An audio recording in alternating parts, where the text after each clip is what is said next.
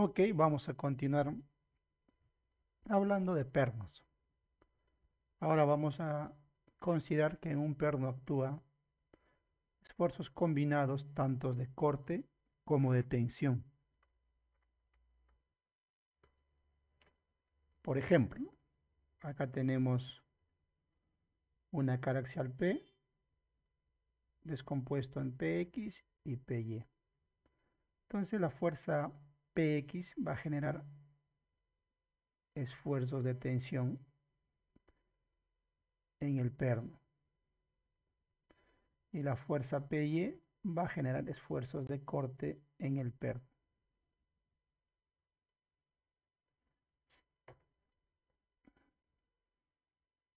Entonces vamos a hablar eh, de la verificación que hay que hacer cuando se tiene esfuerzos combinados. Entonces, lo primero que hay que saber, pues que todo perno tiene como característica lo siguiente, FNT, FNB. Entonces, del código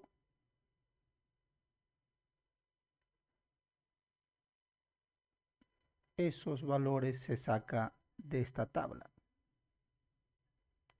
Una vez que identificas qué tipo de perno es, ¿no? Por ejemplo, A307. O también de los valores que te puede dar el fabricante del perno. Entonces son datos eh, propios del perno. Entonces cuando actúa simultáneamente corte y tensión, el esfuerzo de tensión se modifica, es decir, se reduce debido al corte. Entonces tenemos el esfuerzo de tensión nominal modificado. Eso quiere decir pues que reduce de valor, reduce de capacidad. Entonces, eh, eso es lo que vamos a verificar. Pero eso también tiene una condición para usar eso, ¿no? Entonces la, la condición es la siguiente, ¿no? Es que el esfuerzo por corte requerido, es decir, este de acá, debe ser mayor o igual al 30% del esfuerzo nominal de corte dato. Cuando se cumple esa condición, recién usamos esta ecuación.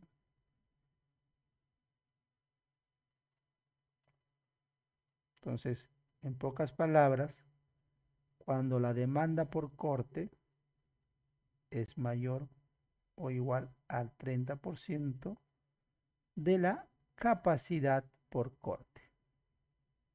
Porque siempre es demanda capacidad o lo que dicen resistencia nominal y resistencia requerida. Pero básicamente es demanda con capacidad. Entonces, cuando es cuando se cumple esto, ahí recién podemos verificar. Y si no se cumple esto, digamos que esto no se cumple, no es necesario verificar por este concepto. Es decir, no es necesario usar esta fórmula.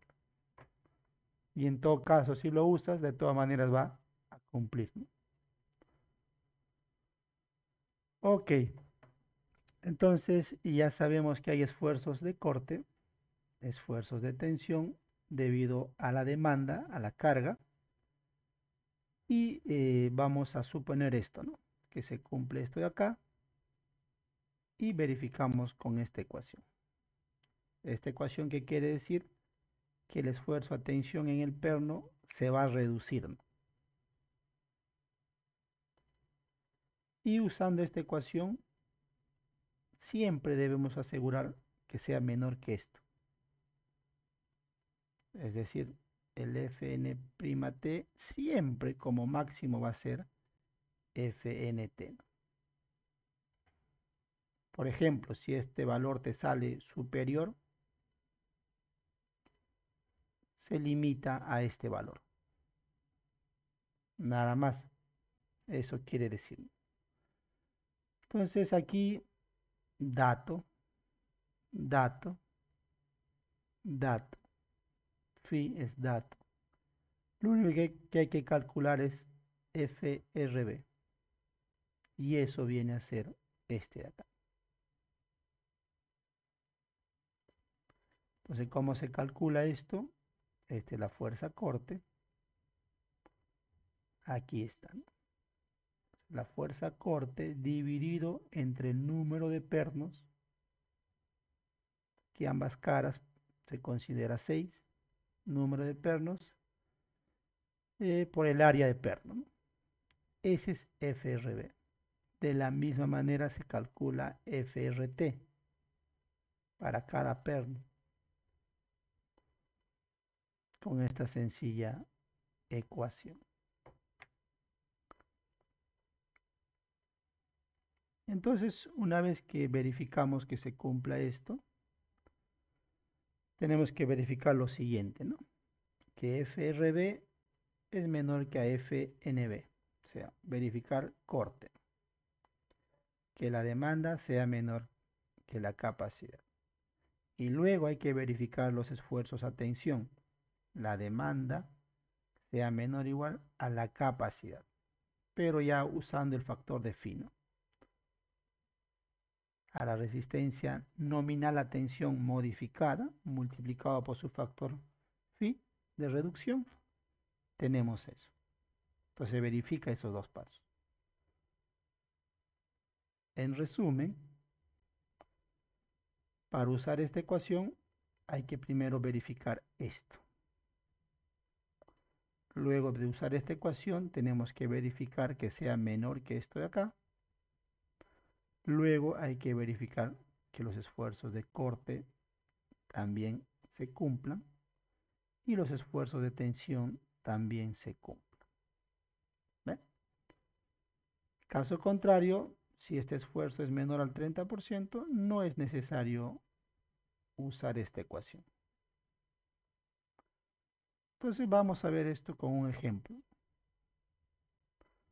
Entonces acá tenemos 6 pernos de 3 cuartos. Este es el área, este es el perno, su FU, FNT, FNB, datos del perno, que pueden ser proveídos por el fabricante del perno o usar la tabla J3.2. Listo. Entonces, ¿qué hay que hacer como primero? No? Primero hay que verificar esto.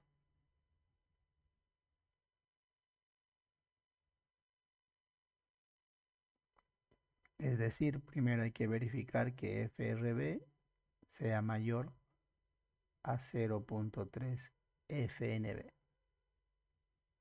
Y ahí voy a eh, recién usar eso, ¿no?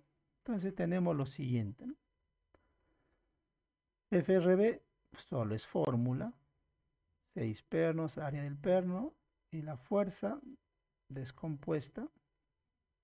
Tenemos una fuerza de 100 descompuesta en 80 y 60. Pues acá tenemos un triángulo de 3, 4, 5. Listo.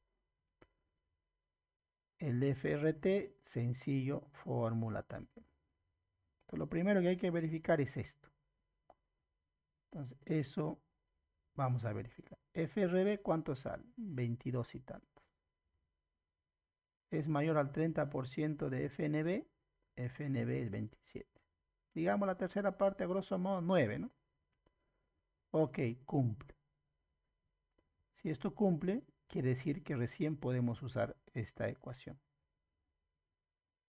Usando la ecuación sale 8.23 y ese 8.23 es menor que FNT que es 45. Listo. Cumplió también. Ahora usamos el factor de reducción de phi. Nos da 6.18. Recordar que phi siempre es 0.75. Ahora hay que verificar esto, ¿no? Corte, demanda contra capacidad. ¿Cuánto es la demanda? 22 y tantos. ¿Cuánto es la capacidad? Es 27. Cumple, ok. Ahora verificamos eh, igual, demanda, capacidad, pero ya eh, esfuerzos de tensión. Demanda vale 30 y tantos. Y la capacidad reducida es 6.18. No cumple, ¿no? Esto no se cumple. Como no se cumple, tenemos que... Ah, eh, tenemos dos opciones, ¿no? Aumentar el diámetro del perno, es decir, aumentar el diámetro del perno, o eh, optar por un perno de, mayor resistencia, ¿no? Vamos a optar nosotros eh, por lo siguiente. Vamos a optar por aumentar el diámetro. Entonces, ahora vamos a considerar seis pernos de una pulgada. Es la misma fuerza. El área del perno. Estas son las mismas características. Primer paso, verificar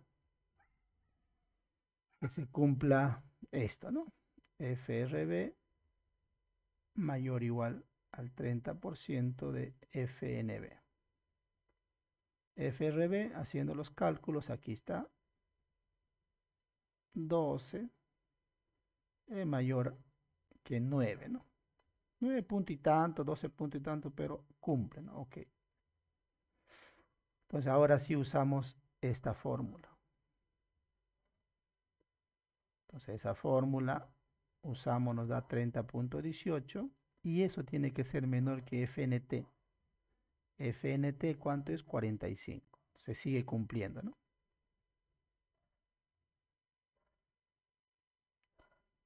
Se cumplió. El reducido, 22.64. Entonces ahora verificamos esto. ¿Esto se cumple? Borramos todo, vamos a verificar si se cumple esto. FRB, 12 y tantos, menor o igual a, aquí es FNB, ¿eh? que hay un error, FNB 27, ok, se cumple. Ahora el FRT viene a ser 17 prácticamente, menor o igual a phi F'NT 22 y tanto. Se cumple, ok. Listo. Entonces se necesita 6 pernos de una pulgada. Entonces, en resumen, viene a ser esto. Vamos a usar esta fórmula siempre en cuando tengamos esta condición. Y siempre este de acá tiene que ser menor o igual FNT. Si por el cálculo te, te sale que esta expresión mayor a FNT, lo limitas a FNT. Listo. Una vez que verificas eso, haces el factor de reducción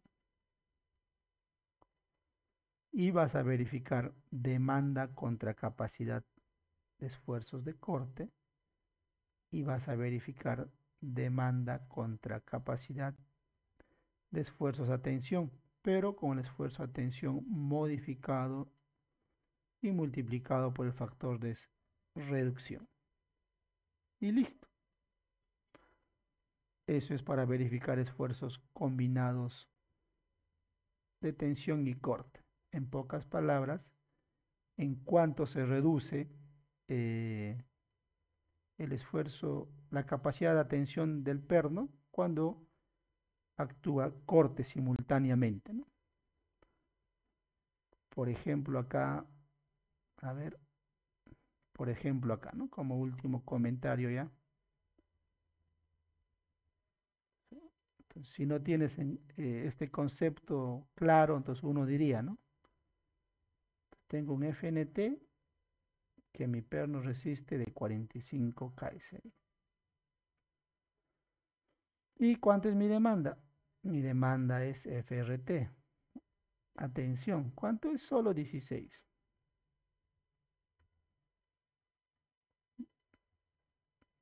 KSI. Uno diría, ya, sobra, pasó, ¿no? Pero tienes que tener en cuenta este concepto. Si tienes cuenta este concepto, la capacidad modificada a tensión del perno solamente es 22.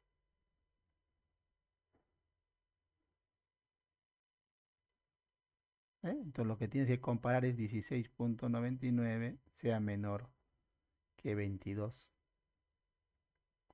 Es decir, el FNT se reduce prácticamente a un 50%, ¿no? Claro, 22.5, 22.5 aproximado, ¿no? Entre 45 es el 50%. ¿Eh? Se reduce hasta un 50% la capacidad de atención de este pernito debido al esfuerzo de corte. lógico esto para este ejercicio en particular. Nos vemos en la próxima sesión.